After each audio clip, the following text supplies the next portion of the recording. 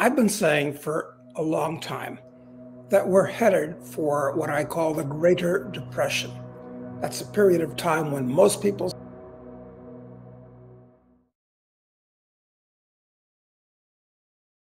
Hello, everyone. Best selling author and speculator Doug Casey joined us this week to discuss the looming economic disaster caused by government missteps and mistakes. We discuss inflation, CBDCs, real estate bubbles, gold, and Bitcoin. Subscribe now, hit that bell icon, and embark on an enriching journey toward financial success. Let's unlock the potential of these markets together and pave the way for a brighter financial future. Welcome aboard. No, fair enough, of course, and I think the whole momentum accelerated uh, over the last three, maybe five years, uh, in in particular as well, because money printing has uh, completely exploded, of course, to unreasonable levels here as well. Um, is that is that why you're saying the chickens are coming home to roost now? Like, and what could trigger that as well? Like, what could set off the barbecue here, Doug, for lack of a better term? right. It's funny. I've I've been to Haiti many times over the years, and it's uh, finally making front page news. Hmm. Um, okay, look, one manifestation of all of this is the amount of debt in the world that governments own, that that corporations, individuals owe. Uh, the whole world uh, revolves around debt. In fact, even the uh, dollar, whether we're talking or or euro or whatever currency we're talking about, they're all debt-based currencies. And the problem with debt is, uh, in itself, uh, debt is fine if if it comes from real savings and it's being used for productive purposes to uh, to make more wealth. But most debt today is actually consumer debt. All government debt is consumer debt, and most of um, most private debt is consumer debt. And what does that mean? When you borrow money, you're taking capital that somebody else has saved over the past and using it, or you're mortgaging your future where you're going to pay it back uh, sometime down the road. And uh, the problem when there's a lot of debt is that it can become a daisy chain. When one person defaults on his debt, the next person can't pay off, the next person can't pay off. And there are uh, hundreds of trillions of dollars worth of debt in the world today. So it's an unstable situation.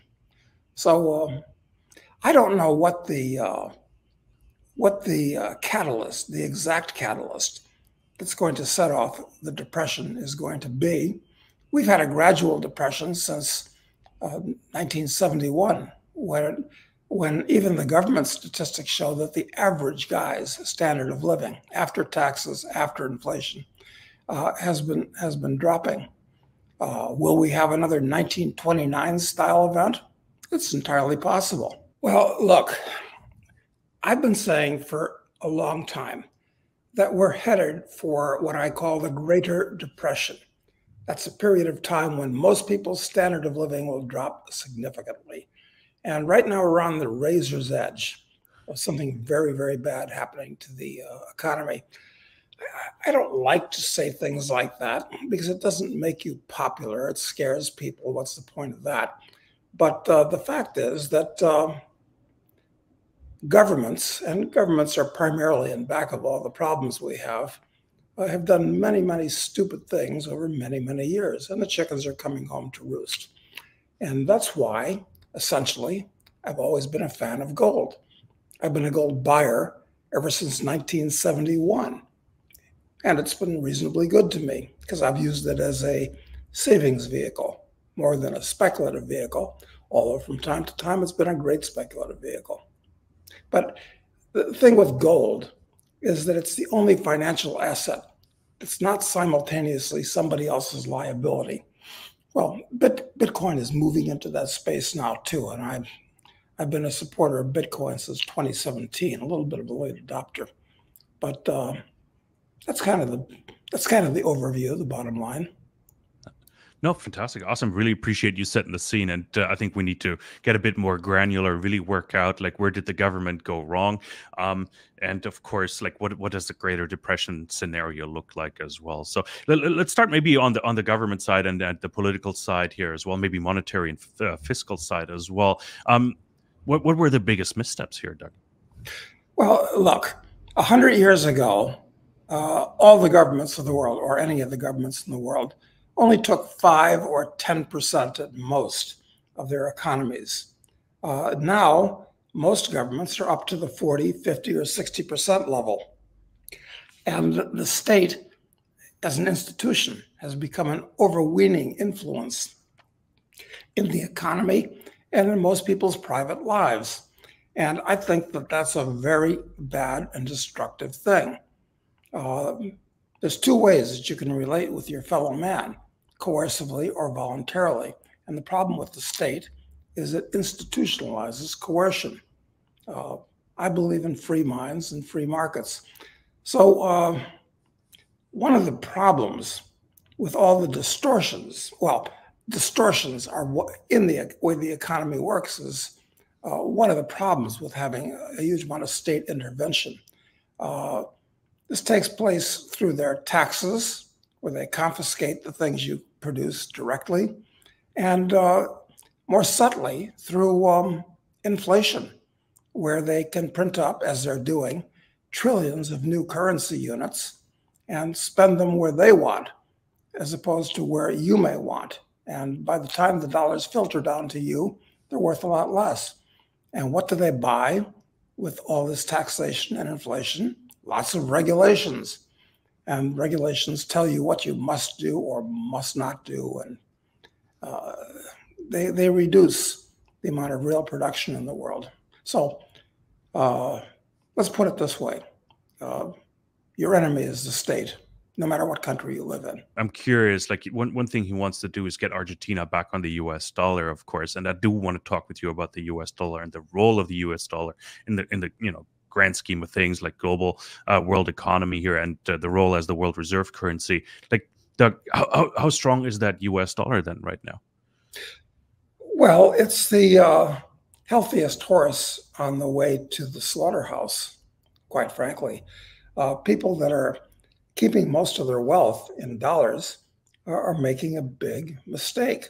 Um, look, it, it, it's a fiat currency where most of the most of what the U.S. government spends now, or about half of it anyway, uh, doesn't come from taxing uh, their population, their subjects.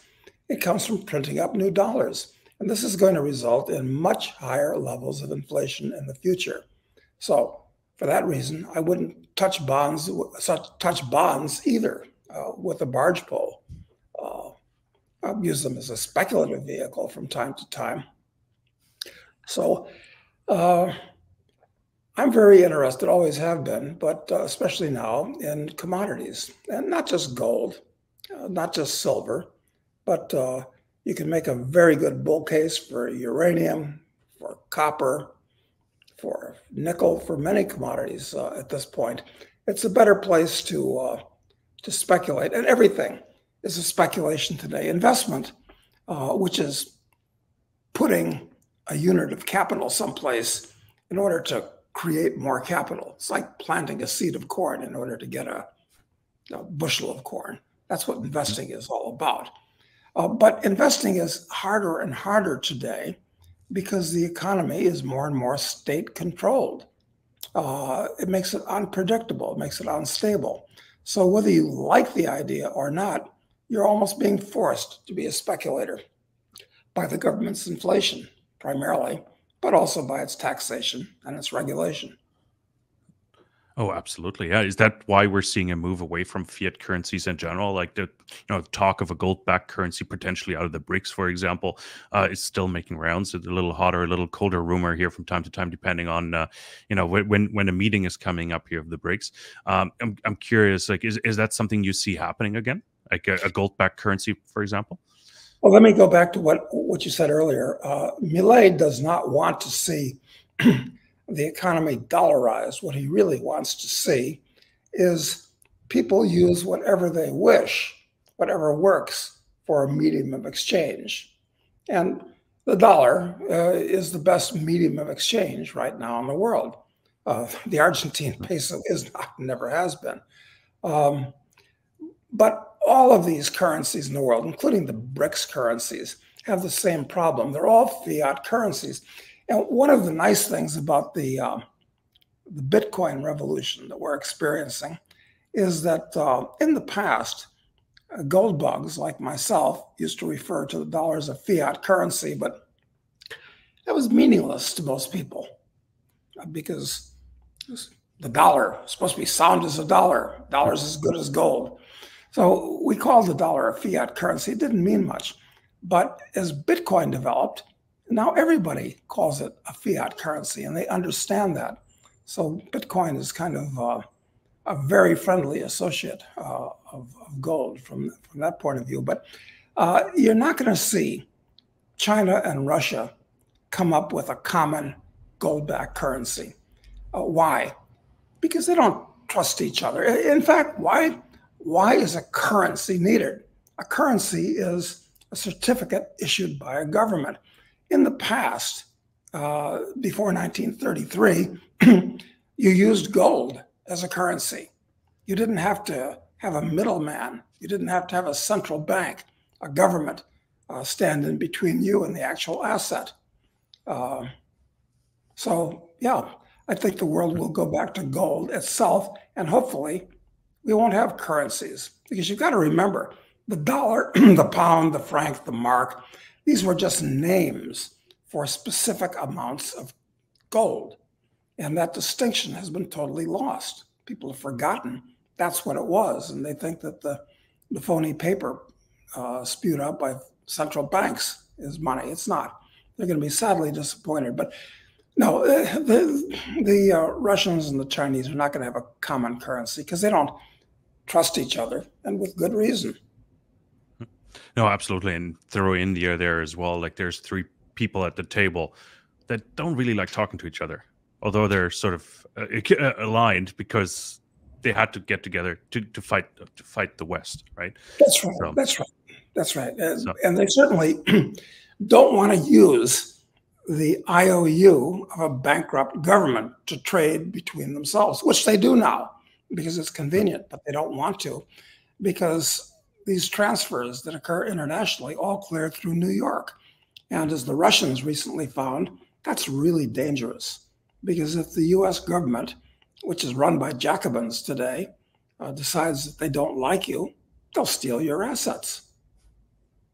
And they'll use them as collateral for other investments as well, apparently. Yes. So they'll issue bonds backed by stolen assets. So, really, really interesting topic there. I don't want to go down that rabbit hole, but uh, I want to throw in one more uh, topic here into the discussion: is sort of accelerating the decay of fiat currencies. Is is uh, C- are CBDCs sort of an accelerator? Are they like a, a catalyst for uh, maybe you know gold in particular? Yeah, CBDC, central bank digital currencies. Uh, they're obviously uh, being imposed on the world. Uh, and they're, from the point of view of the average guy, uh, they're going to be a catastrophe. They're monstrous. Uh, it means that all of your liquid wealth, your dollars, are digital, which means that they're completely controlled by the state. Uh, and well, in Canada, for instance, just recently, uh, the Canadian truckers found that uh, if you have digital assets, you may not have digital assets. So the a lot of Canadian truckers were being treated within Canada the way Russia is being treated internationally. Now, I'm completely opposed to uh, central bank digital currencies. Thank you for watching the interview highlights of Doug Casey. If you enjoy this highlight video, Please kindly subscribe and help share this video for us to share more of this valuable content. Thank you.